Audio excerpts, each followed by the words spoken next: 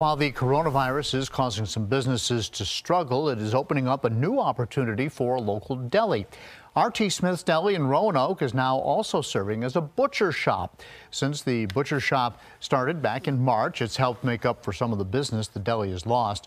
The co-owner, Karina Clinton, says that every time meat is hard to find at grocery stores, their service grows just a little bit more.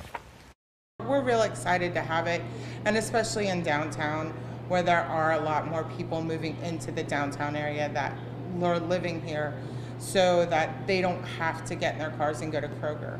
Or if you come down to the farmer's market on Saturday, we're here. The goal is to work with local farmers to expand the butcher shop with some locally sourced meats.